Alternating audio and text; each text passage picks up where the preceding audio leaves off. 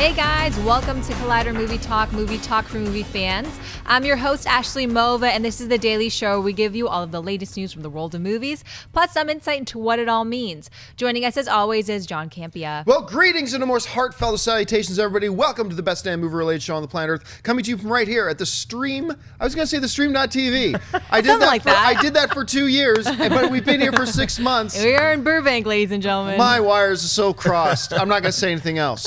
Oh, here, Jon Schnepp. Hey, I know we've been at AMC Movie Talk. I mean Collider, Collider Movie Talk for quite a while. We love You're a being good man here. for covering What's me. going on, everybody? Also here is Christian Harloff. Oh, I mean Mark Ellis. Ah, take another sip of heartache, boys, because you can't drink the streaming AMC away. The beloved Pixar animated film Finding Nemo came out in 2003, and now almost 13 years later, we finally have our first trailer to the sequel, Finding Dory. Finding Dory will be focused on the amnesiac character Dory and will explore the idea of her being reunited with her family. The film will take place six months after the events of Finding Nemo and will be set off the coast of California.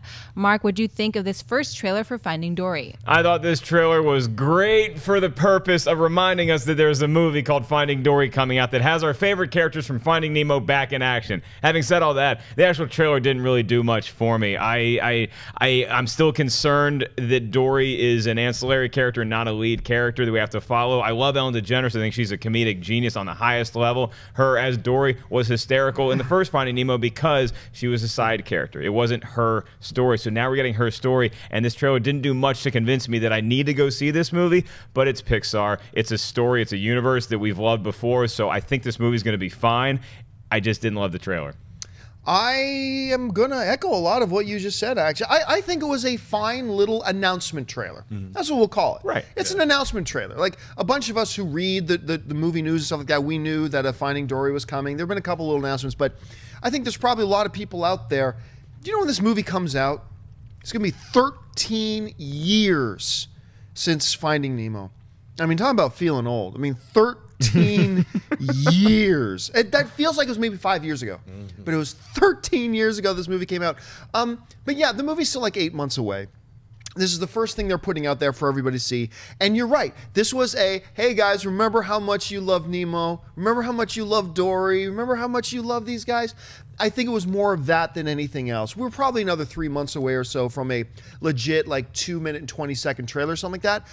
So uh, if this was the trailer two months before the movie coming out, I'd be saying, man, they are dropping the ball. But as a little announcement, eight months out, it was cute. I think it did the job it set out to do that you so eloquently put. So yeah, I'm, I'm into it. Yeah, I actually needed that 13 years later refresher course because I saw it once in the theater. I really loved it, but I literally have forgotten the movie. So seeing a little teaser like this and getting, oh yeah, there's that manta and all these other like you know aquarium friends or whatever you want to call them. Mm-hmm. It's like it's it's a good refresher. So I'm waiting for the full trailer. We talked about this this morning. It's like, yeah, this is just a like, hey, check these people out. Remember these characters? There's a new movie. You'll get a full trailer later. So this was perfect tease. Yeah, and again, th- th- this trailer was not made to impress regionally famous movie talker Mark Ellis. This was made to let the world know that there is a movie coming out at some point called Finding Dory, and it's the exciting sequel. We got to see more footage of this on the animation day at D23, and I still ha- echo some of those sentiments, and I'm a little concerned that Dory has too much of a prominent role because it is her story. But having said all that, it's I love Albert Brooks and I love Ellen DeGeneres so much as comedians that I would love to see this movie. You know, Anne and I, we have uh, seasonal passes to Disneyland. So we go to Disneyland quite a bit. And honestly, one of my favorite parts of Disneyland, there's a place in the park where there's a big body of water and they got some like uh, buoys on it. And they've got fake animatronic seagulls from Finding Nemo on it. And as you walk, walk by, they all yell, mine, mine, mine. And I don't know why. I'm an, I like an idiot. I start, I just start laughing like every time I see it. Every time I walk by them and they do that, I just start laughing my fool head off. I gotta go. What's the name of that place? Disney. Disney uh, Place. I think it's Disney I think Place. it's Disney I'm a Busch Place. Gardens kid at heart, but I gotta go to Disneyland. It's been too long. All right, what's next? As most of you are aware, a Baywatch movie starring Dwayne The Rock Johnson and Zac Efron is currently in development that will be helmed by Horrible Bosses director Seth Gordon. Today comes news that a short list of actresses for the film has surfaced. According to a report in Deadline, one or several of these actresses could end up with various roles in the film. Film. The actresses include Johnson San Andreas co star Alexandra Daddario, The Vampire Diaries Nina Dobrev, Storm from the upcoming X Men Apocalypse Alexandra Shipp, Pretty Little Liars Ashley Benson, Shelley Hennig from Teen Wolf and Unfriended, Bianca Santos from The Duff and Ouija, and Denyse Tontz from Big Time Rush. Schnepp, which, if any of these actresses, would you like to see in Baywatch? Well, this isn't really what I would call a short list. This is like the seven, the seven. As uh, opposed to the hundred yeah, candidates, I seven, guess. Uh, seven beautiful ladies. All, uh, you know, obviously they're going to be in bikinis and bathing suits, and it's Baywatch. They've already got The Rock. There's going to be a bunch of other like stud hunk dudes that they're going to be like trailing out on their whatever short list. So this is like the uh, the meat market version of which ladies here uh, do you guys or gals find attractive? So I'd say all of them. You know, I had to do my research this morning because I wasn't wasn't familiar with a lot of them. So I found all of them incredibly stunning and beautiful, and I think they should all be in Baywatch. How's that for a lady? Man, talk about the dog pound. I mean, you think in Hollywood they could have found somebody at least remotely attractive. Oh my God! I mean, that's quite the list. And you know, it's it's it's you know, and it should be. We should really emphasize this too. The report that came out of Deadline was that they're not just shortlisted for one role. They're, they're, these could be several roles. Right. So we could see like three of these uh, young ladies, th- four of these young ladies popped up. Um, obviously, the name that jumps out to me the biggest, the best, is Alexandra Daddario, because not just because she is like a freak of nature, she's so attractive, but she has shown us whether it's in True Detective or other things she's. I look, you're talking about San Andreas. The first thing you think about is not good performances. If you can have a good performance in a movie like that, she gave it. Like so, she's got talent on top of stunningly beautiful. I was telling Mark this story beforehand, but I, I, I really should share. This is how ridiculously, obscenely good-looking Alexander Daddario is. All right. So everybody knows the scene from True Detective. Everybody knows what I'm talking about when I say that. So I wasn't really watching True Detective. I had watched the first two episodes and I didn't like the first two episodes. So I gave up on it. Now later I binge watched the rest and really enjoyed the rest, but I had given up on it. So Anne was still watching it. And guys, get the, keep in mind this is my wife, all right? My wife calls me one day when I'm at work. And when I'm at the office, right? And she calls, she goes, John, honey, have you seen this Alexander Daddario sex scene from True Detective? I said, no, I, I'm not watching it. She goes, John, this is my wife telling me this. Stop what you're doing, get online, and find that clip. It is stupid how beautiful this girl's body is. And like, and all this, this is my wife telling me. When your wife is telling you to stop what you're doing, get online and look up some smutty porn, that, that is, that says something is different about this situation. Well, John, this isn't smutty porn. This is an artistically shot, amazing series called True Detective, folks. And if you haven't seen it, watch the first season. Uh, which I, I cannot deny anything you just said. But but but beyond that, so everybody will look at her and say, "Wow, ridiculous." This girl can act, and that's the biggest thing here. Uh, Nina Dobrev, good Canadian girl, so I got to be happy about that as well. I know uh, Ashley will probably have a bit of fondness for our Yes. Pretty Little Liars in the And house. Nina Dobrev started on Degrassi, was a Mm-hmm. terrible, terrible actress, and has come such a freaking long way than that. It's absolutely amazing. So I'm rooting for her, and of course my girl Ashley Benson. Mm-hmm. She's looking like fire, and I feel like she'd be a perfect for for Baywatch. She's like, I mean, I guess it kind of depends what kind of character she'd play, but I really could see her in that role, if you know what I mean. Yeah, she might be the Pam Anderson. Yeah, you like, know. yeah. Oh, what about you, Mom? I'm still getting over the wife phone call. Like that's so great that your wife called you because when that scene happened, I got a call from Harloff and McCougar. Like, dude, you gotta see this scene. I still haven't seen the scene, so, so I'm the last guy. On he earth, and hasn't. We talked um, about that this morning. I'm like, you haven't seen the scene. You He's hear like, that, mom? "Nope." Your boy's doing fine in L.A. Um, first of all, how much fun did Ray have putting that crap together? um, I'm I, actually uh, shocked at like how he actually kept it together. You know, Well, we don't know that over he, the top. he went into right. the bathroom and made that for an hour, so we don't know what all went down. Oh my um, yeah, I mean Alexander Daddario would have to think is the lead because she's the biggest name, and she also doesn't have to do Baywatch to enhance her career. She can do a lot of other things. She might have a little more options than some of these other ladies. Bianca Santos is somebody to keep an eye on though because she was in Ouija, and I liked Ouija more than a lot of other people did. Because one of the reasons why is because I believed her in that role. So if she can pull off Ouija, I'm sure she can pull off Baywatch. It's gonna be there's gonna be a lot of comedic elements to Baywatch, a lot more than we're on the classic TV show. So you have to be able to pull that off. But in order to do that, you need to commit to the role you're playing. You know, mm-hmm. you, you you need to be somewhat of a good actress in order to make those scenes funny. Because you got The Rock, you got Zac Efron. Right. Any one of these, I think, would be a great choice physically. But can you pull off the role of being a lifeguard and commit to it? That's what's going to make us laugh. All right, folks. Well, we've reached that part of the show now for buy or sell. Here's how this works. In front of her, Ashley's got a few other items in the world of movie news. She's going to run them down, and those of us at the table are simply going to say whether we buy it or Salt. So, Ashley, what do we got? John Wick 2 is currently in production in New York City, and according to a report in Deadline, several new and returning cast members have been added to the action sequel. According to the report, some of the notable additions are John Leguizamo returning as Aurelio, Lance Reddick returns as Hotel Continental manager Charon, Bridget Moynahan returns as John Wick's deceased wife, Helen Wick, and new addition actor Peter Stormare. John, buy or sell these additions to John Wick 2? Absolutely buy. Now, I'm, I am a little bit curious. What does this mean? Like the Bridget Moynahan. Wait, wait, what? Okay, now if it's, or, or is it going to be flashbacks? If it's going to be flashbacks, that makes sense. Okay, I'm totally it. Is this a matter of, wait, she didn't really die and she's back and now she's the bad guy? I mean, I, I don't know how ridiculous they're going to go. You know what? John Wick is just the right kind of ridiculous if they did something like that. 99 other movies, I say that's stupid. John Wick, that could actually work. Um, I wanted to see more John Le- Le- Leguizamo in the first one. I that scene in the original John Wick when he's talking to the mob boss on the phone, like he's in trouble, and uh, it's just it's whose car he stole. And the mob, whose car did he steal? John Wick's. And then that pause. Oh, I that that movie. If I wasn't already completely bought in that movie by that scene, I was in. So I'm really glad he's back. And Peter Stormare, I love this guy. He's one of these guys whose name you'll never remember, but his face you'll never forget. Like you, you see him pop up in like a thousand movies. He's always the Russian bad guy or some other thing like that, and he always brings, I think, a humor to it, yet really intimidating and scary at the same time. Um, but the big one to me that really jumps out is Lance Reddick as the manager of the Hotel Continental. Whether it's in The Wire or whether it's in The Fringe or anything like that, um, I just this guy has a presence on screen, and when he's playing the soft, you know, the, the mild mannered manager of the Continental, well, yes, Mr. Wick, love, but you just know he could probably rip off and kill seven guys just like that if you really need to. So I was really excited. I'm giddy just thinking about this movie. I'm excited that it's already filming.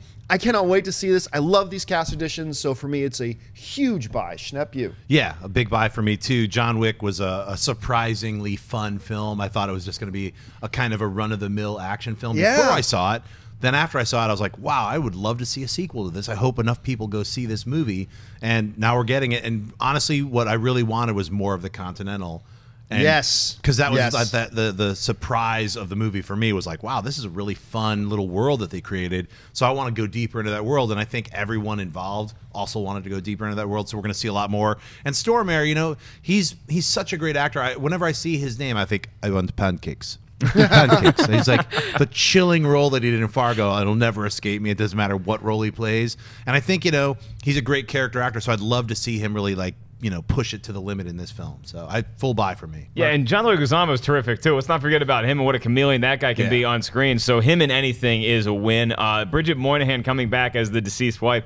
wh- You would think it would be a flashback, but you're, you're right. With John Wick, who knows? She's You a twin. don't. It's his. It's her, it's his It's his- wife's twin. You could have so much fun with that with that plot point of him remembering something, or maybe that's why that that sets off the story in motion that we're going to get in John Wick 2. But I echo y'all's sentiments: is that the best news in this is not a casting news; it's that they casted the hotel back in Yes, John Wick 2 yeah. because I love seeing the Continental. and we already know Ian McShane. We already know Ian McShane's coming back. Right, right, so right, right. That, that really emphasizes that. Yeah, so I'm just I'm, I'm so excited to see this movie, and uh, and again, it was one of the fun surprises of last year, and I think this one will be not a surprise, but I think this one might double what the first one did at the box office. Oh, it abs- I have no doubt because I mean the first one didn't actually do all that well at the box office. Look, they put out the first trailer for it about three and a half weeks before the movie came out, and let's be honest. I, look, I'm going to confess it right here. I was one of those guys. who was like. Yeah, Keanu Reeves is in it. I, I had just seen a number of his films that had disappointed me and, and whatnot. But give credit where credit is due. Like we talk about how good and fun the movie is. Uh, one of the big reasons that movie was so good is because of what Keanu Reeves brought to that movie, man. I mean, he was great as John Wick, and I just I cannot wait to see him back in this role. That's right. I, I just hope nothing happens to a dog in this one. Oh, can't, my God. can't handle it again. That was part of the like the the fun of the trailer and then the movie itself was just those scenes where they're like, What do you mean he's back? They just built that the man with no name, that person The who's mythology like of the mythology. him. Yeah, Yeah. so they built it up just in the trailer that made you want to see the movies. All right, I'll check it out. Seems like it could be cheesy. There's elements that are cheesy, but it's so much fun, and the violence quota, the dome shots, like that's. I think you're gonna see double dome shots. Right, this, right. Uh, yeah, and you know, going back to the dog, and I, I think I might have mentioned this on the show before, but it's so this is this is where the movie really shines because a lot of these action movies, and if you just look at it on paper. The original John Wick is it's a little formulaic. I mean, we've seen this before. A guy who was once this has to now come back into action. Okay, but what they did was they did it with a little dog that they forced us to fall in love with that puppy. And then when they killed that puppy, see, if they had dragged out of bed and killed his wife and daughter in an action thing, or what we would have been, oh yeah, man, that's not cool. We- We'd have been that's not cool. When they killed that dog, when they killed that dog, all of us, you, me, the people in the theater, Ashley, Des, all of us, them, them fuckers gotta die. That's right. They gotta die. They're going down. like, yeah. And so they got us emotionally invested in what should have been just a cheesy, campy action flick. Instead, they got us emotionally hooked in that me- movie immediately. It was such a brilliant, like I, you could say the dog was a MacGuffin, really, and Right. like, and in one of the best uses of a MacGuffin of all time. It's just, I'm getting excited thinking about. it. I got to stop. I'm sorry. What, what- what if he has like a bunch of cats in John Wick 2 and they kill him and then, and then he's just like, ah, whatever. You know, he's just like, he's like, yeah, yeah, I'll miss the cats, but I'm not going to kill anybody. That would It's be horrible. I, honestly, that's true. Like a lot of the people joke, like never kill the dog. Never. That's like the, they've made a movie about the guy who like made a film and then in the end the dog gets killed. There mm-hmm. was an actual meta film about that, and then this movie comes along is like, no, we kill the dog, but we had the perfect the perfect reason, revenge. The Yeah. whole movie is all about revenge. I just So- can't believe how emotionally invested I got in that movie when they killed oh, a dog. Uh, anyway, all right.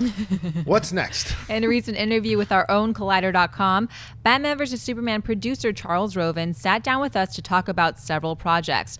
When it was mentioned that we'd love to see a four hour cut of the new DC movie, Roven said the following I don't know if you'll ever get the four hour version, but there may be something that's coming along that might be slightly less long than that.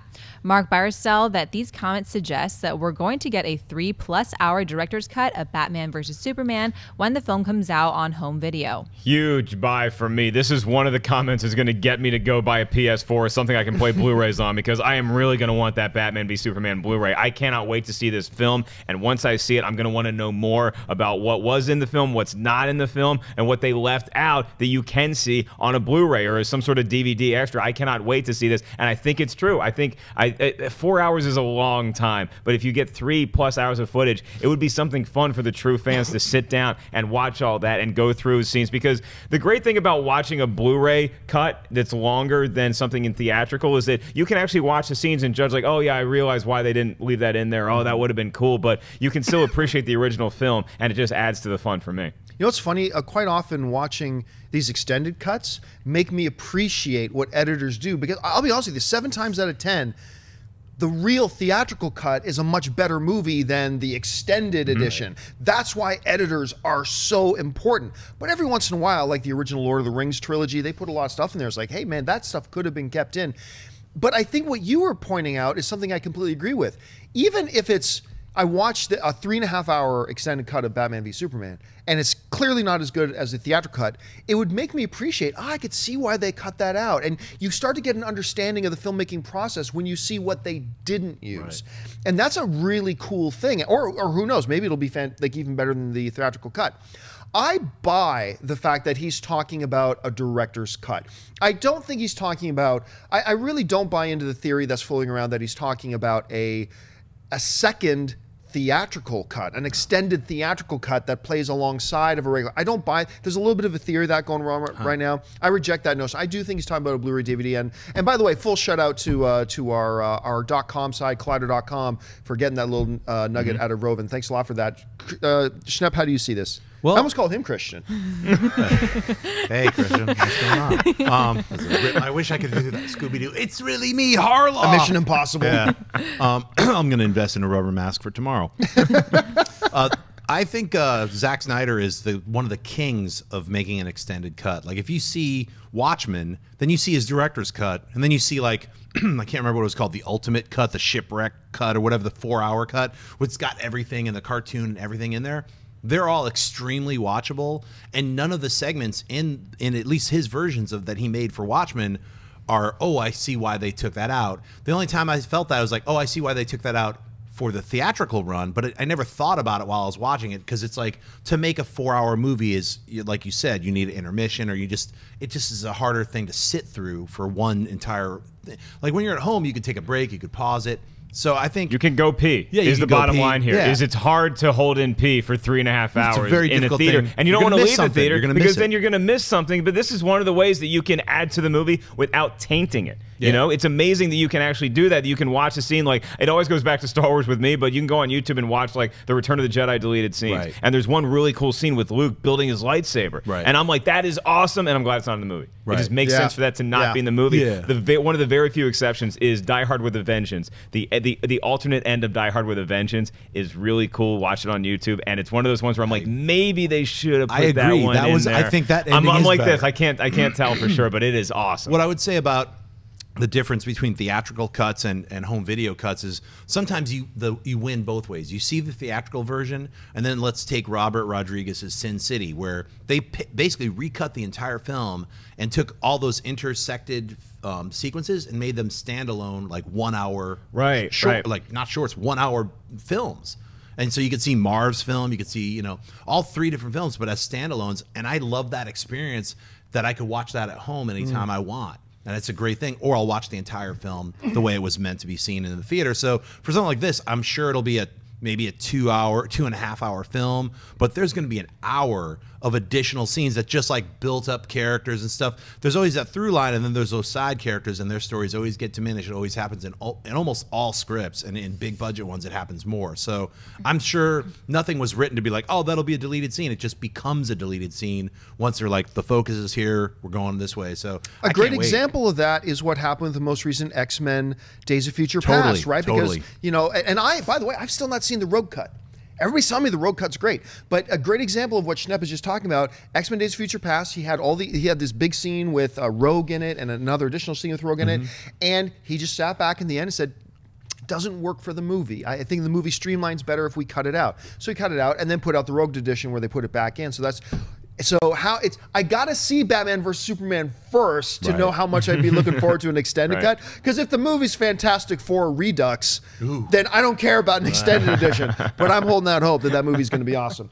All right, folks, it is Tuesday, which means it's time for us to start talking about what is opening this week, brought to you by our good friends over at AMC Theaters. Three movies opening in wide release this week. We're going to talk about one of them today. So, Ashley, what do we have? One of the films opening in wide release this week is the true life story of the 33. Disaster strikes on August 5, 2010, as a copper and gold mine collapses in Chile, trapping 33 men underground. With more than 2,000 feet of rock in their way, members of a rescue team work tirelessly for 69 days to save the seemingly doomed crew. Beneath the rubble, the miners begin an epic quest to survive contending with suffocating, suffocating heat and the need for food and water. With family, friends, and the rest of the world watching, it becomes a race against time and a true test of the human spirit. Schnepp, are you looking forward to the 33? Most definitely. I think this is a, a film about the human spirit and like not giving up and perseverance. It's all those things like the above ground crew not giving up on the people who are trapped underneath, the people trapped underneath, trying desperately to survive and hold on for as long as possible, not believing that the people upstairs are going to give up on them. So I can't wait to see it. I remember when it was happening, when reading upon it in the news, like they're trying to get these guys out. And, you know, you're like, oh, it sounds like it's a lot of mining disasters are horrifying disasters. People die. A lot of this, the 33 guys survived. It's amazing. So, and the cast, everybody, everything about it. I'm really looking forward to seeing the, the, the story behind, you know, the, the, the news story, you know? This I'm I'm absolutely looking forward to this movie, and this is one of those rare news stories where for a couple of days everybody was glued to their TV, seeing what was going on. It's just one of those stories, and you're right. When you when you really hear about it, trapped underground, 2,000 feet underground for 33 days, fiction sounds like total Right. fiction. This was real. This was real events. And so I'd seen their their uh, their rendition of this and their incarnation of the story has got me very very curious. I'm very much looking forward to seeing this movie. What about you, Mark? Oh yeah, I, I can't wait to see it. I'm um have the pleasure of seeing it tomorrow night, and it's one of those stories that I remember when it was going on, and you hear, oh, they're still trapped, they're still trapped, but they're still alive too, and it's it's the key is not giving up hope. And so many times when you see a movie, it's one set of humans or one human being versus another set of humans or one human being, and here everybody's on the same team. Here you have the below ground and above ground, everybody pulling together their efforts to do the same task, and so something like that on film, I think, is going to play out really well, and it's going to be a special flick. All right, folks. Well, we've reached that part of the show now for mailbag. Listen, if you've got a topic or a question you'd like us to address on the show, you can email it to us anytime at collidervideo at gmail.com. Now, we are doing this show live right now, and there are thousands of you watching us live at this very moment. For those of you who are watching us live, at the end of the show, we're going to leave some time to take some of your live Twitter questions. How do you get a Twitter question on our show? Simple. Hop onto Twitter, make sure you're following us at Collider Video, and tweet in your question to at Collider Video. That's simple. Ashley will pick out some questions near the end, but for now, we're going to get to the mailbag questions. So, Ashley, what's in the mailbag? Omar Westmass writes, Hey guys, been watching the show since the OG days back at AMC. What are your thoughts on Activision and Blizzard making a studio together and their plans on making a Skylanders series, a Diablo movie, and possibly a Call of Duty cinematic universe? Yeah, I thought this was very interesting. This is the new thing. A lot of these companies now creating their own movie division. That's that's kind of the trend right now. Right. Stay tuned for a Collider Video creating its own movie division here. um, uh, the Skylanders series seems to make sense. From what I hear, that's going to probably be an animated series, probably. Uh, Call of Duty, yeah, they're talking about Call of Duty almost having their own big shared cinematic universe. Not necessarily a lot of interconnected stories, but movies that do happen in the same reality and all that kind of stuff. That could be interesting to see what they do there. You mentioned a Diablo movie in your question. I have not heard of a Diablo movie. Um, I don't think they announced that as part of their plans. I could be wrong about that, um, but I have not heard that. It would make sense. I mean, if you unless unless Activision Blizzard already optioned the rights to a Diablo, because remember they have Activision Blizzard has nothing to do with the Warcraft movie coming out. They might have already optioned out the rights to Diablo, which I wouldn't be surprised if some studio wanted to secure those rights a long time ago. That being said, maybe it's a part of it. I just haven't heard of it. It sounds like an interesting move. Look, if Marvel can create their own movie production division, why not an Activision Blizzard? They make some of the most immersive. I cannot tell you how many hours of my life have spent in intimate romantic moments with StarCraft and Warcraft and Diablo. Hmm. so it's just like I'm immersed in those stories. Millions of us are immersed in those stories.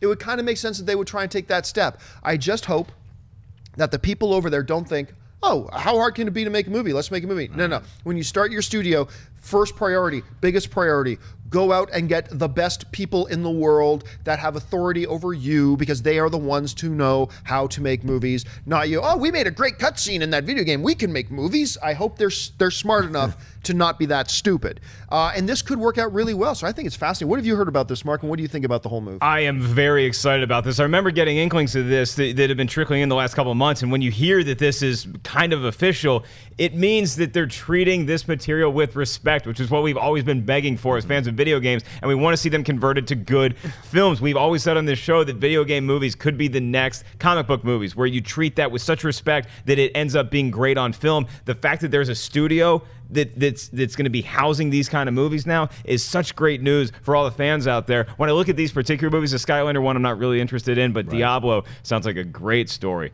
That sounds like and the the Call of Duty cinematic universe. Are you kidding me? That is a no-brainer. That sounds that you could have all anybody who's good at war in a video game could be in the Call of Duty. You could get the Ghost Recon boys. You could get Sam Hunter from Splinter Cell in there. I would love to see a Call of Duty shared universe.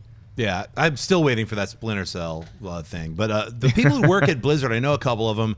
They're a dedicated company, and they and I'm really happy to see this merger with Activision. I think, I mean, to me, I'd I'd love to see Pitfall the movie. You know what I mean? This old yeah. Activision game. You just add a little romancing the stone, and flavor it up a little. It could be a really fun film. They have Activision has a great catalog of video games that could be turned into a lot of really cool films, and obviously Blizzard has so many. And and uh, does do you guys know if Blizzard has StarCraft? I have- see. I don't know. No, you know what? I believe we might have done a story like two or three years ago about somebody getting the Hmm. option rights on StarCraft because that's a movie you got That's to a movie because I, I wonder. It's like this whole merger and like, hey, let's do it. is sort of almost a reaction to all these other movies being made on their games, like Warcraft. That's Blizzard's bread and butter you know? So they're sort of like let let's get our stuff together and make our own movies. I think it's a really smart call and I, would love to see what they got on the slate once they announce it. And activision has so improved everything about that company since i was a kid and they were cranking out like totally. really bad video games for a long time. Remember the ghostbusters game on nintendo? Oh. it was atrocious. And now with, with you know the, the resurgence partially due to guitar hero but yeah. a lot of other things a lot of different corporate shakeups activision is crushing it right now. This is awesome news. This yeah. side note on starcraft I, I had a lot of success with protoss carrier rush everybody. Just try utilizing a Protoss carrier rush a little bit. You might be surprised how good your results are.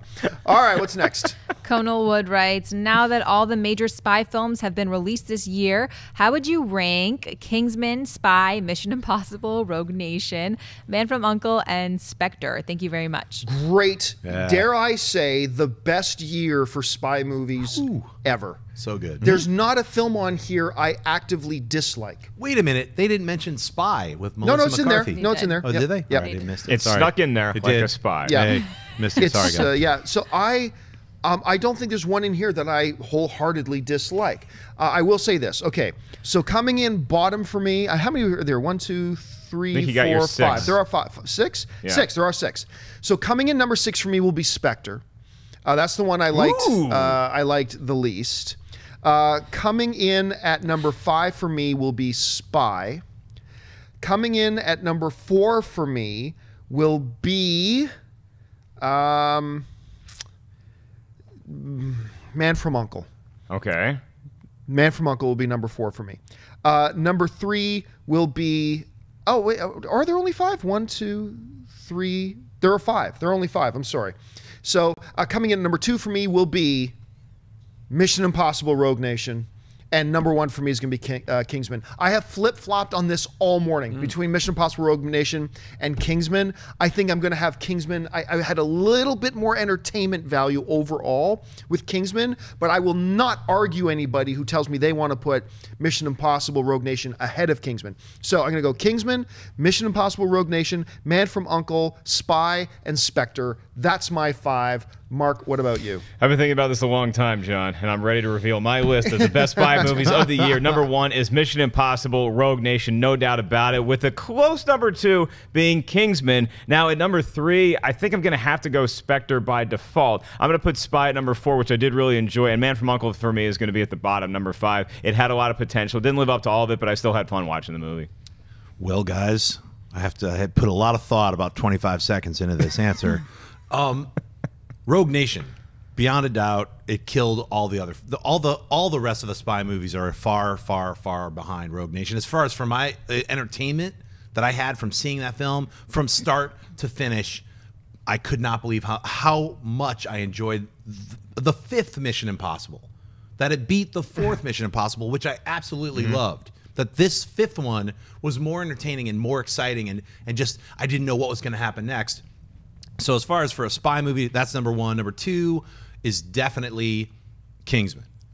That was like I loved it. It was fantastic. I'm so happy that a second one is coming out. That was the surprise spy movie for me. Number three is Spy, the comedy movie with Melissa McCarthy, because uh, I found it really enjoyable. And it was like her character kind of like I didn't know who she was for a little while if, until she started just cracking jokes. I was like, all right, the rest of the movie doesn't even matter as long as Melissa McCarthy's funny, and that's what I got. So it was a really fun comedic view of spy movies. Number four was The Man from Uncle overall a disappointment, but there were a couple of amazing sequences, like that one scene when Henry Cavill's just drinking the wine in his oh, truck. Oh God, I love that scene. The, everything else, all the mu- just the music takes over, and he's just enjoying this one crazy solitary moment. I wish there were more moments like that in The Man from Uncle, and I wish they just called it Uncle because no one knows what the hell The Man from Uncle. No one remembers that series. So finally, Spectre, big disappointment for me bottom of the list. I think it's the last one for Daniel Craig.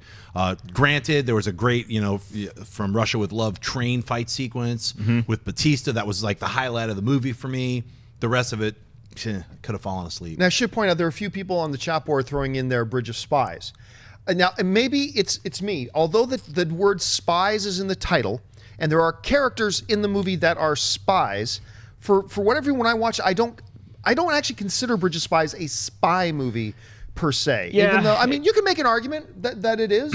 If I was gonna, if I was just gonna throw that consider in there, I'd, I'd probably have it just below Spectre and just above Spy because I really did like that movie. But you know, it, it is called Bridge of Spies, so you know, spies.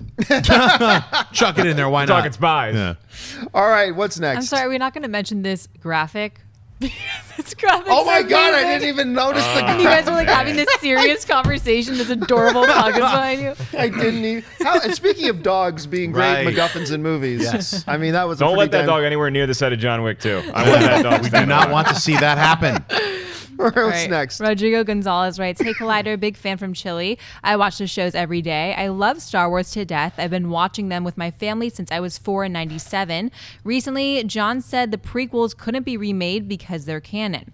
Then why not just make them uncanon or something? Is Star Wars canon really so sacred? Is there a law or something? Because I feel like I can't see the big deal here. Thanks, and may the force be with you. Yeah, somebody brought up. We could actually. I get asked this question a lot, but I don't know if I had, I had ever addressed it. So on this weekend on Mailbag, I took a question and said, "Hey, what what if Disney reboots reboots just the prequels?" And I said, "Look, the prequels are like that."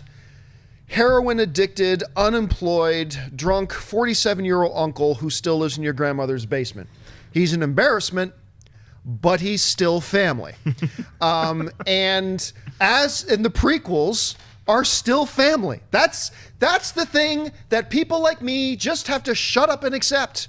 It's still family. It's in my grandmother's basement. It's still shooting heroin. It's still an embarrassment to the family, but it is family. And it is canon. And there's there's meaning to the word canon. Now, when they proclaim the prequels, all the movies, that includes the prequels, when they proclaim that they are canon, that is them saying this is forever and always. That by calling them canon doesn't just say these movies in and of themselves are now veterated, if you will, for all time, but it also means that all the movies that come after are building upon what is in those movies. You cannot now simply go back and redact saying that they're canon when all the movies you're now making moving forward, all the new cartoon shows you're making, all stuff, rely on things that are in those movies as factual and unmovable. They are canon. To call something canon kind of means you can't just go back and say, nah, no, it's not canon. Um, so while, look, while it would be my favorite day that Lucasfilm came out and said, we've changed our mind about the prequels, forget they exist, it's not going to happen. They are canon. They are now part of the official history of Star Wars. All the stories moving forward are built upon them. And, oh my God, I can't believe I'm going to say this. They shouldn't be touched. They are what they are and they shouldn't be touched. They have their place in the family. They have their place in history. They are what they are. They should not be touched. They will not be touched. Mark, I'm just curious if, if you got a what your point of view on Well, you know, is. John, as the 47 year old uncle who's addicted to heroin living in a grandma's basement, um, I, I do agree with you. you. You should not touch them if for no other reason to honor the legacy of George Lucas. That was his vision, and whatever you want to say about George Lucas, he's the reason why we get to talk about Star Wars.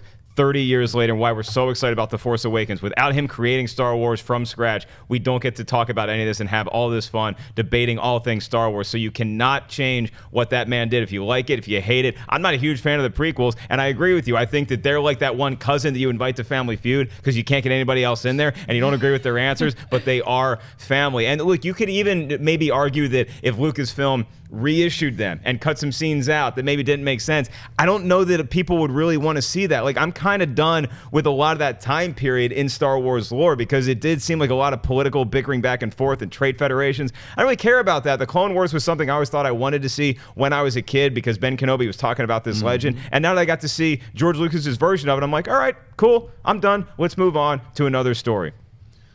Guys, I'm a big fan of rehabilitation. and I think you both might be in a little bit of denial. So my my perspective on it is yes, George Lucas is the godfather of Star Wars. He created Star Wars. He hired two other people to help execute Empire Strikes Back and Return of the Jedi. Uh, he bought ILM and made sure that he was the grandfather of all of our digital technology, the computers that we use, all nonlinear digital editing, sound systems. We all rely on that because of George Lucas. With that, I'll say this one, two, and three should be remade.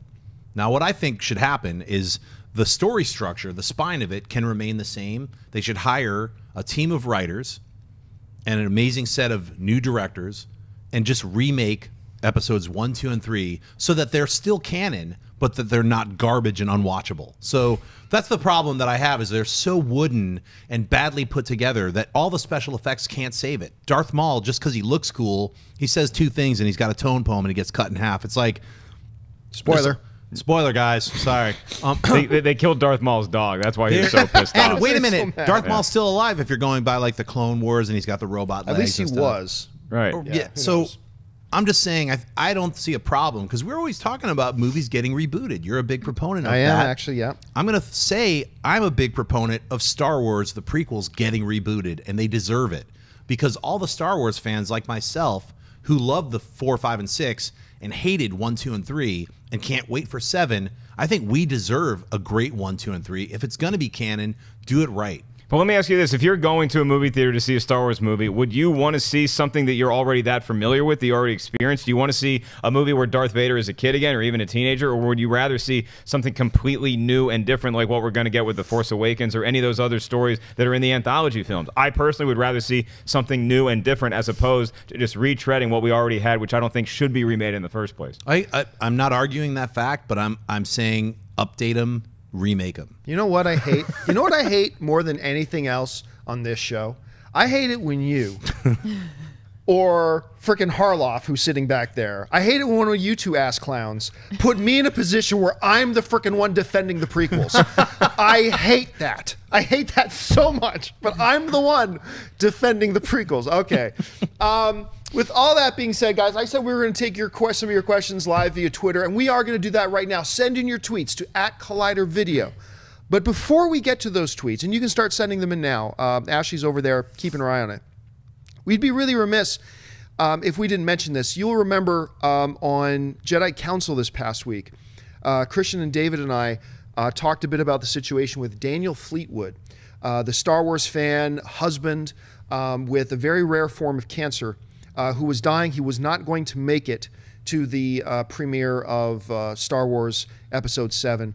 And an online campaign began to, uh, I believe it was Force for Daniel was Yeah. the hashtag to try to get him the ability to see Star Wars The Force Awakens before it's too late. Um, you guys did it. He did get three, I think it was three days ago. He saw the film. Uh, I can't remember if he got to see it with his wife or not. I hope he did. Uh, he saw the film, uh, I, and then news came out this morning that uh, in his sleep, Daniel had passed away. His wife put it, put it up on Facebook. Um, Daniel, ha- Daniel, who did get to see Star Wars, has passed away. It's a sad story. Um, but at the same time, um, I mean, I don't know this dude. I'm getting emotional. Um, there, a great movie once said, "Every man dies, but not every man lives." um, and in the case of Daniel Fleetwood, in the in the face of the most horrific thing, obviously he or his wife, and we, we shouldn't forget his wife in all this, um, would would ever face in his life the most incredible challenge, the most incredible difficulty, the most incredible trial. In a world where on the online universe is populated by trolls and assholes and and people who just like to be jackasses and make things difficult, it can often make us lose faith in who we are as a uh, as a people, as a species, even. But the situation of Daniel Fleetwood was one that reminded us that we can all win.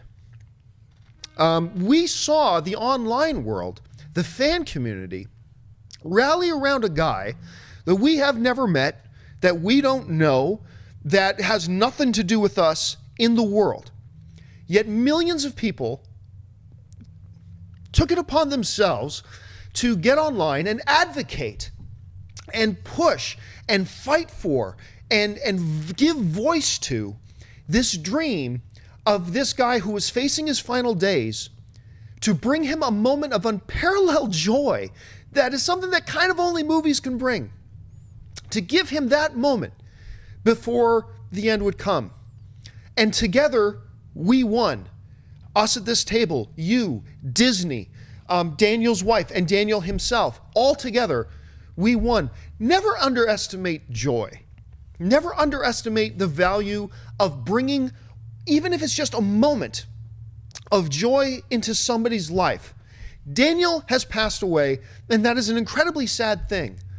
But in the midst of all that, there is incredible joy that Daniel got to do something that he probably dreamed about as a Star Wars fan his whole life. That probably all of us, we joke on this show about, you know, if JJ gives you a call and wants you to come over to his house, we joke about all the time.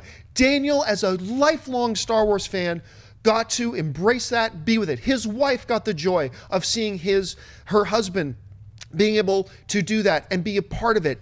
And a lot of us, including me, and I want to thank everybody out there for this, you've given a lot of us joy to see that the online world and the online fan community isn't just a bunch of trolls and assholes and people who are out there just trying to stir shit. But we're a group and collective of people who actually care about each other, even when they're people they didn't know. And collectively, we made something amazing happen for this guy, Daniel Fleetwood. And I just wanted to say, obviously, our condolences to Daniel's wife. Um, and in the midst of this incredible tragedy and sorrow, and my deepest thanks, just as a human being, to everybody else who made something like this happen for this guy um, in the final days of his life. So, um, rest in peace, Daniel Fleetwood, and our thoughts and prayers to your wife. Did you guys want to add anything before we moved on to, to Twitter? No, I mean, I mean, beautifully said. I mean, following that story and then seeing that he got the chance to see the movie and died in his sleep, fantastic. Yeah, and it's also it's, it's one of those things where the story of Daniel Fleetwood reminds everybody how important Star Wars is to so many people. So anytime some dolt on Fox News wants to talk about why Star Wars is being oversaturated in the market, or oh, I'm sick of seeing Star Wars, just remember how good Star Wars is and how much good it does for human beings. How it makes us feel like we can become something more than ourselves. It's so much safer than religion or anything else that you want to throw at it. When you watch Star Wars, you feel special, you feel a magic, and I'm glad that Daniel Fleetwood got to feel that for a little bit longer. All right. So once again, guys, thank you to all of you, and and um, and yeah. All right. Now with that. Uh, put aside for now, it is time to get to the point that I said, promise you we would have, which is taking some of your live Twitter questions. So, Ashley, what have you picked out for us? Robert Meadows writes Will Andy Serkis ever win an Oscar? Oh, man, that is, it's. That's a discussion that comes up every time one of his movies Right. come. Like I, you know, at this table we have some differences of opinion, which is understandable. We are this is untreaded upon territory. Andy Serkis is kind of breaking new ground and raising questions for us as film fans that we've never really faced before. We've never considered a motion capture person for an Oscar until Andy Serkis started doing it. Right. I do believe it ain't going to happen this year. It ain't going to happen in next year. I do believe Andy Serkis is going to get at least a nomination. I'll go so far as to say I believe within the next five years, maybe 10, Andy Serkis will get a nomination because he is so consistent in what he brings. And I think what he brings, more and more people are recognizing it. Um, so I think within the next five years, I think it's going to happen. Schnepp, do you think it's going to happen? I think in it, they're going to have to create a subcategory That's a it. possibility. And I think that's fair. I mean, there's there's categories for best actor, best supporting actor. Are there categories for best voiceover? There should be a category for best motion capture because that's that's where we're headed. And we're headed there with not only just movies, but with virtual reality and all the different kinds of all-encompassing, uh, you know, kinds of, uh, uh, you know, sh- shows and events that we're going to be seeing in the future. Uh, I think Andy Serkis is an incredible actor, just as an actor alone, not an enhanced motion capture actor. I think he's a great actor. So I think at some point in the near future, you're going to see him not just being a great actor, but being nominated for it. Well, we already know Leo's winning this year for The Revenant, but I think the best supporting actor could go to Snow, baby. If not this year, it could look. It could happen. Okay, The Force Awakens could be awesome, and it could get nominated for a lot of Oscars. Having said that, I think he's definitely going to win an Oscar at some point for something. I would. I would assume it would be best supporting actor, but even if it's not that, even if they do something with performance capture, where even if you know how they host the Oscars, but then uh, at a certain point during the ceremony they cut away to two weeks ago Right. at the Science and Technical Yes. Awards, hosted Yeah. by like Alan Thicke or somebody. We gave away a lot. Everybody loves the Sieber family. He might win one of those, if nothing else. So yes, Andy Serkis will definitely have some hardware from the Oscars on his mantle at some point. All right, what's next? Matt Calixte writes, What are the jobs of a producer, executive producer, and an associate producer in a film? Are they the same job? No, they're not the same job, but they're also very fluid in that. Look, uh, whatever, some somewhere there's a written description of what they are, and then three doors down from that is a totally different written description.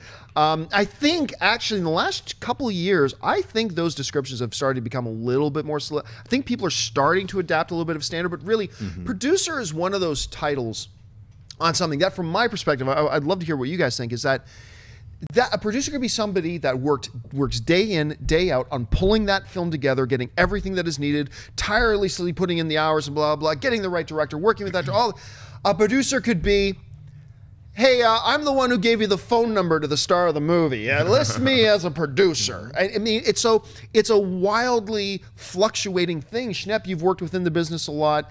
You, how would you define that to people Well, uh, you listed off a bunch of them. Executive producer is within the television realm is usually someone who is a creator of the show. They also get that title of executive producer because they're overseeing overseeing the entire thing, the the full tapestry.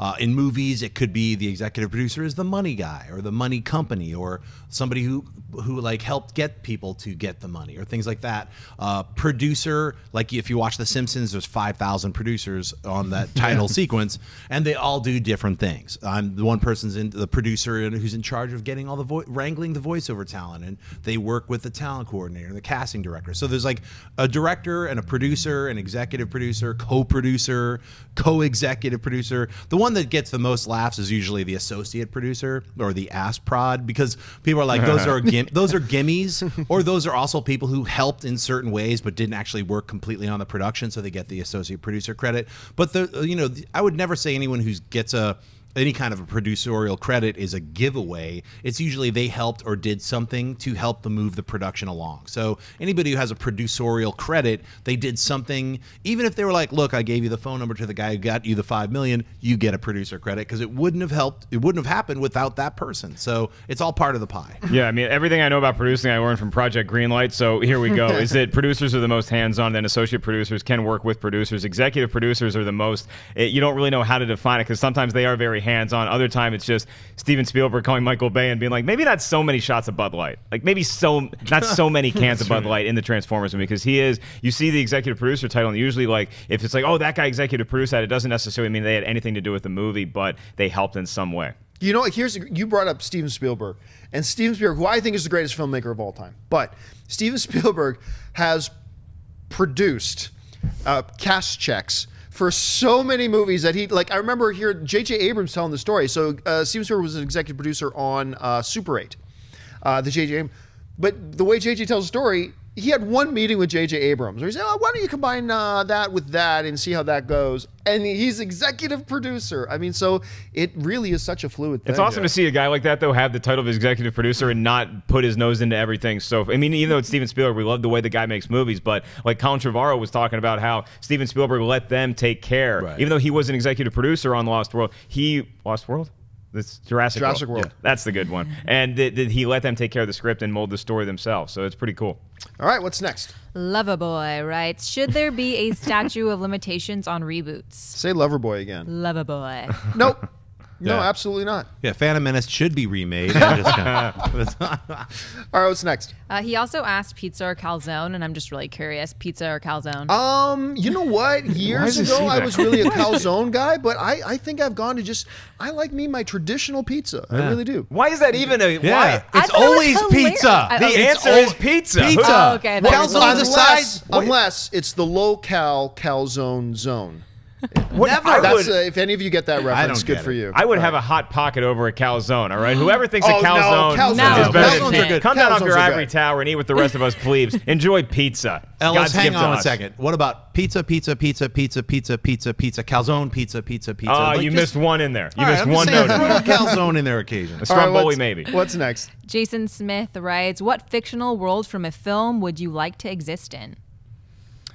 Ooh, that's a good one. See, there are a lot of worlds that I love on film, but I don't want to live there because I die. die pretty Right, the fast. Avatar world, I would like die. the Avatar instantly. world Yeah. dead in 10 minutes. Any of the worlds in Star Wars dead in 10 minutes. Oh. Yeah. Lord, Middle Earth, no Nope. thank you. Maybe the Shire. Hmm. Shire, Shire. seems delightful. They just be puffing away with a bunch of little guys. I'll you say know? the Shire. Why not? In Lord of the Rings. Okay, all right. Look, I, just so you guys know out there, I play basketball all the time. I'm a huge basketball fan. I myself, and my mom thinks I'm five foot ten, maybe. I play point guard in real life, but if I'm in the universe in Willow, I am playing center, and I am dominating every game like I'm Shaquille O'Neal. I want to go to the Willow universe. All right, I'm gonna live on that weird planet that Krull exists on. Die. You're gonna No, I think die. I'm You're gonna gonna die. so fast. I can't think of anything. Okay, else. wait. So, so you took. I took Willow. You took uh, Krull. You took Krull, and you took Oh, Lord I of the took Rings. the Shire. Which one of us survives longest? Oh, and I'm in the Shire. Are You kidding me? I I'm think- I surviving think it's the you. Shire. You I just think hang out Camp at the bar, lives. right? I'm Yeah. just being absorbed by some crystalline spider right now. And if there's any threat to the you know. Shire, Gandalf shows up, keeps things in order. You no problem. We're good. You All hope right, he what's next? Angel writes, if you could mash up any movies, what would they be? Mine is The Inception of Elm Street. I can't, I couldn't even answer that. Ooh, I- that's awesome. The Inception of Elm Yeah, Street. Somebody good. write that right now. That sounds Yeah. awesome. That's that. That's an interesting one. I would I would need like a half hour to think about it. I'm not gonna whip something. I out. will say uh, Star Lord, the Empire uh, kills Thanos. All right, what's next? You know, think about that one though. I might. We, we might come back to you. Mr. Mac Cheese writes, what did you guys think of the Entourage movie? Uh, you know, I'm telling you right now, I I like the Entourage movie. I went in it. I, I went in it. I went to it. I sat through it. I laughed. I grinned. I chuckled. I came out and I had been entertained. I came out. I uh, Dennis and I talk about this once in a while. When I saw the ravenously negative feedback to it, I'm like, what movie were you people watching, or what movie did you think this was going to be?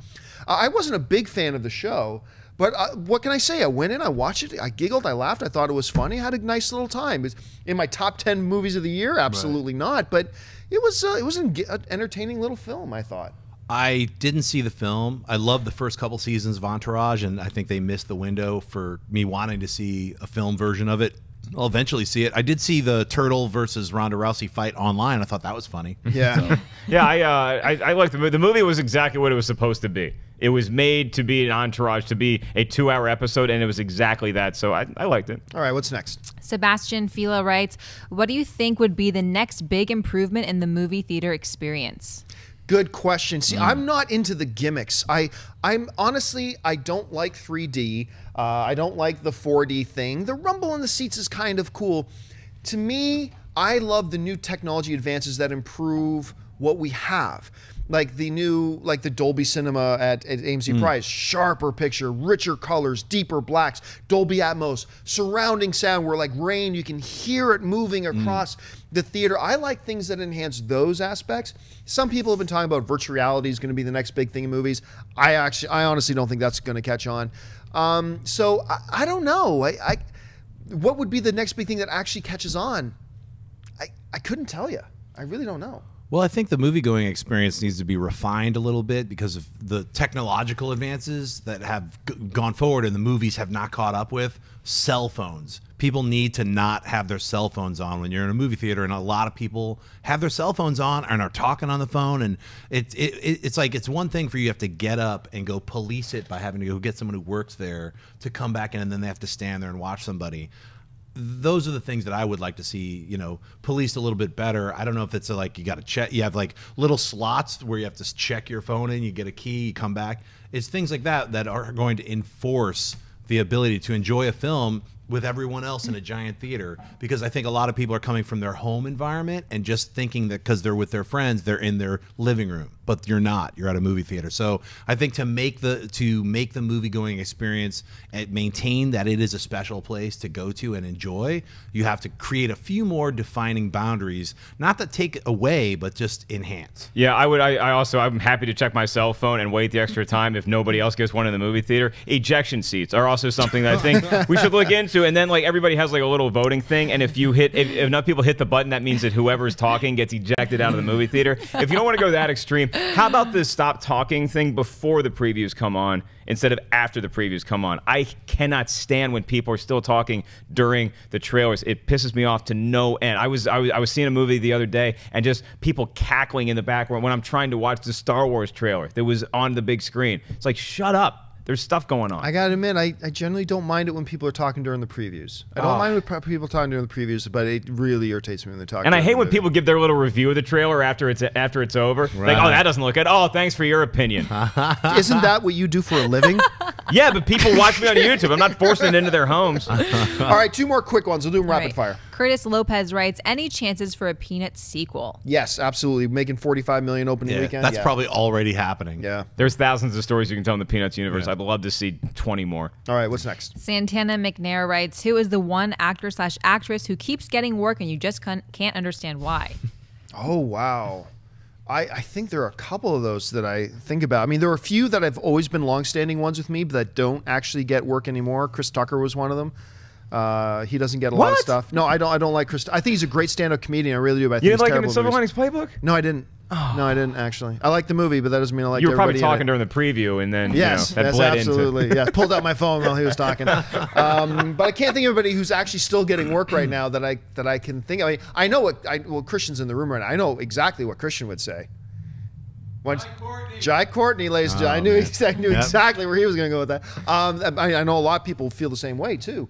Uh, any, can you think of any off the top of your head before we wrap this up? No, I, I- I can't think of anybody that I really hate. I'm still trying to think of the the combining the movie universes and like something really good for that. And I just right? can't quite. I, I want to put the the cast from the Naked Gun in something that's serious. I just I'm not sure what yet. Maybe like Back to the Future. Naked. wait, what about Naked Gun Airplane? Wait, Gun that's Airplane. the same. Same. All right, folks, that will do it for us for this installment of Collider Movie Talk. Thank you so much for joining us. A special thank you to all you guys who are watching us live and sending in Twitter questions as well. Listen, don't forget, lots of great movies playing at our friends over at AMC Theaters. Head on over to www.amctheaters.com for all of your theater showtime and, of course, your movie ticket information. Like your entertainment news, make sure you bookmark collider.com. Bookmark that site. Visit it every day. Uh, you know, the crack team of writers over there are doing a great job of keeping you up to date on everything going on in the world of television and, of course, film. Speaking of television, we got a lot of recap shows on this network. We had our Supergirl recap, was now online from last night. Jon Schnepp was a special guest. That was fun. On that panel tonight, we got Agents of S.H.I.E.L.D. and, uh, of course, my, my recap show that I'm on, uh, The Flash, as well. Lots of great stuff. Making sure you're tuning in for all that fun stuff. And I just want to remind you if my face looks a little more stupid than normal, uh, it's going to be like that for the rest of the month. Once again, this year, as I have in years past, I'm participating in No Shave November. So hopefully, when you see this stupid looking face, it reminds you hey, I should go and support cancer research. Head on over to the uh, uh, American Cancer Society or any of the other organizations that fund cancer research. Don't go to Applebee's tonight. Say, you know, what? I'm going to keep that money that I was going to spend at Applebee's tonight. I'm going to send it to the uh, for cancer research. So please participate in that. I want to thank the guys sitting at the table with me. First of all, sitting to my left, Mr. Jon Schnepp. Schnepp, where can people find you online? First of all, you can find this movie dancing beyond the battle beyond the stars. How about that? Ooh. It's pretty horrible. I'd pay to see Uh, that. You can find me on Twitter and Instagram, just at Jon Schnepp, at TDOSLWH.com. You get my movie, The, the Death of Superman Lives, What Happened, by going to www.TDOSLWH.com. Sitting over here, Mr. Mark Ellis. Mark, where can people find you? All right, I'm at the world famous Laugh Factory tonight doing a very special charity show in Southern California coming out this weekend. I'm in West Palm Beach in Florida. Online at 5150 Ellis, and I have our combo movie, gentlemen. All right. Jaws and Point Break. Yeah. You guys like adrenaline rushes? See how you deal with Bruce. I like What do it. you point Jaws? How about that? Jaws Point. Jaws point. Jaws I like point. it. Yeah. And of course, soon to be seen in the upcoming Baywatch movie, the lovely Miss Ashley Mova. Ashley, where can people find you? On Twitter and on Instagram at Ashley Mova. Happy Tuesday, guys. And of course, you can find me on the various social media networks. Follow me at John Campea. That'll do it for us, guys. Thanks so much for joining us. And until next time, bye bye. Hey guys, if you like this video, click the thumbs up button. Also, make sure you subscribe to our YouTube channel. It'll help you stay up to date with everything we've got going on here at Collider.